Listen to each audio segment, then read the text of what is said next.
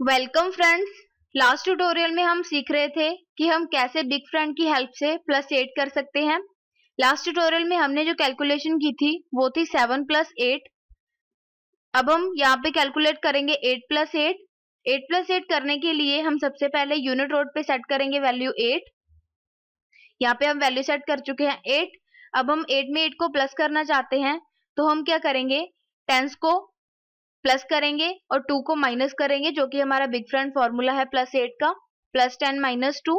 plus ten करने के लिए टेंस रोड पे जाएँगे। यहाँ से फ़र्स्ट बीट को ऊपर की तरफ़ मूव करेंगे, यहाँ पे हो गया टेन प्लस अब हम टू माइनस करना चाहते हैं तो हम यूनिट रोड पे अगेन वापस आएँगे। यहाँ पे हमारे पास जो थ्री बीड्स हैं, यहाँ से हम लास्ट टू बीट्स को मूव डाउन करेंगे। ये हो गया माइनस टू और यहाँ पे हमारे पास रिज़ल्ट देख सकते हैं आप सिक्सटीन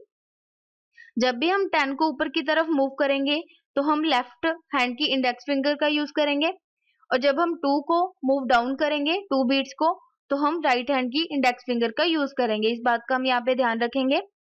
अब हम देख सकते हैं जो हमारे पास रिज़ल्ट आ चुका है eight plus eight is equal to sixteen अब हम रीसेट करते हैं बीट्स को।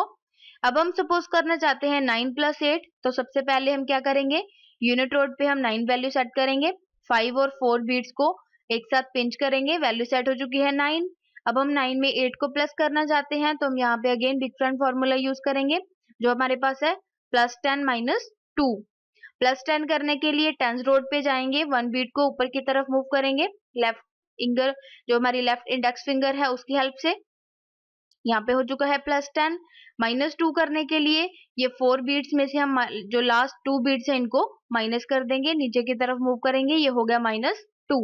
अब हम यहाँ पे देख सकते हैं कि जो हमारी कैलकुलेट होकर हमारी वैल्यू आई है वो है सेवनटीन क्योंकि nine plus eight is equal to seventeen यहाँ पे आप इसको कैलकुलेट भी कर सकते हैं। जो टेंस वाली रोड है, उसमें सेट है वन टेंस मतलब यहाँ पे सेट है सेवन तो ten plus seven is equal to seventeen यहाँ पे हम एक चीज़ का ध्यान रखेंगे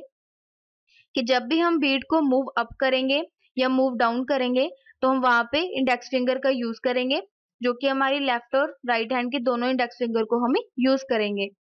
यहाँ पे हम जो प्लस एट का फॉर्मूला यूज़ करेंगे, जब भी हम कोई भी कैलकुलेशन करनी है हमें तो हम प्लस एट अगर हमें प्लस एट की कैलकुलेशन करनी है तो हम वहाँ पे फॉर्मूला यूज़ करेंगे plus ten minus two